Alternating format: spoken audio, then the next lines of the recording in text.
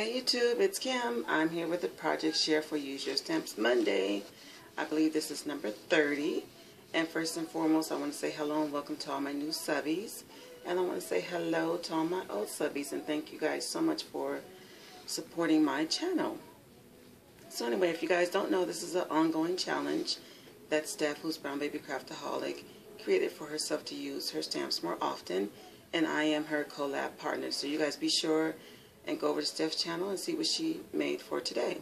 So I'm going to jump right in. My project is kind of small, so I use the um, Lawn Fawn Stinking Cute, and I just use the hearts and the little tiny flourishes.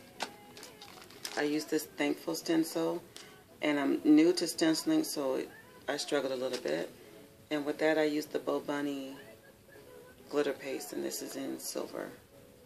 I believe I got that from Joann's.com. Then I used the Gina Marie stamps. This one is called Bible Quotes number four.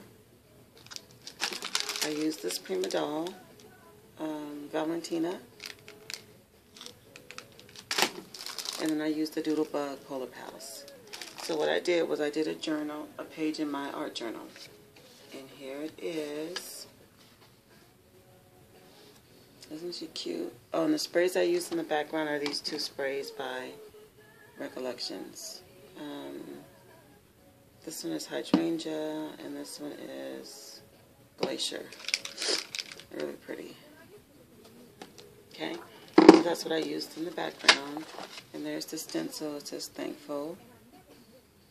And I did struggle a little bit. That's why it's not clear, clear, but it's okay. And then I used the hearts and I just um, took my white pen and just went around it. Paper pieced her little outfit, put some glossy accents on her boots, some stickles, colored her up with my Spectrum Noir markers. And then I put the date. I actually did this yesterday. And that's a Heidi Swapp um, roller date stamp. So there's my project for Use Your Stamps Monday. And this is how simple your projects can be. Just an art journal page, um, a simple note card, um, just whatever you want to make, just as long as you're using your stamps. Alright guys, that's all I have. You guys have a blessed day and I'll talk to you soon.